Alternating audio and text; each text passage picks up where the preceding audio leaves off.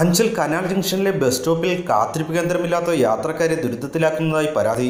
അഞ്ചൽ പഞ്ചായത്തിലെ മാവിള കനാൽ ജംഗ്ഷനിൽ നിലവിലുണ്ടായിരുന്ന കാത്തിരിപ്പ് കേന്ദ്രം മലയോര ഹൈവേയുടെ നിർമ്മാണത്തിന്റെ ഭാഗമായാണ് പൊളിച്ചത്.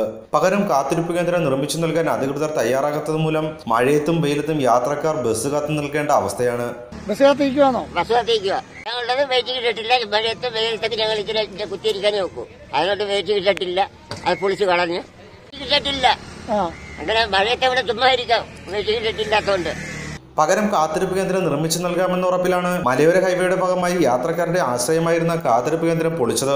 എന്നാൽ പകരം കാത്തിരിപ്പ് കേന്ദ്രം നിർമ്മിച്ചു നൽകാൻ അധികൃതർ ഇതുവരെ തയ്യാറായിട്ടില്ല. വെയിറ്റിംഗ് ഷെഡ് ഉണ്ടായിരുന്നു അത് അവർ വന്ന് പൊളിച്ചു കളഞ്ഞിട്ട് ഇപ്പോൾ വെയിറ്റിംഗ് ഷെഡ് ഇല്ല. ഇവിടെ എത്രയും പെട്ടെന്ന് ഞങ്ങൾക്ക് ഒരു വെയിറ്റിംഗ് ഷെഡ് അത്യാവശ്യമാണ്. അഞ്ച് വർഷത്തിൽ മേളിലായി ഒരു ഉണ്ടായിട്ടുണ്ട്. ഒരു കോൺക്രീറ്റ് വെരിഷഡ് ആയിരുന്നു. അത് നമുക്ക് ഇതുവരെ അത് ഇടിച്ച് പൊടിച്ച് കളഞ്ഞു. കളഞ്ഞു കളഞ്ഞിട്ട് ഇതുവരെ ബാക്കി എല്ലായിടത്തും വെരിച്ചിട്ട് കൊടുത്തു.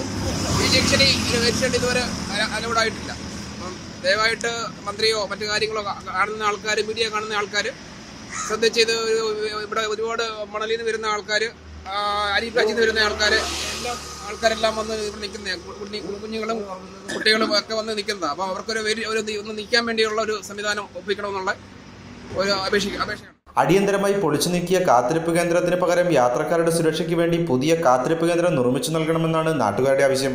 ഹൈവേയുടെ നിർമ്മാണം പൂർത്തിയായതോടെ കനാൽ ജംഗ്ഷൻ ഭാഗത്ത് വാഹനങ്ങൾ അമിത വേഗത്തിലാണ് കടന്നുപോകുന്നത്.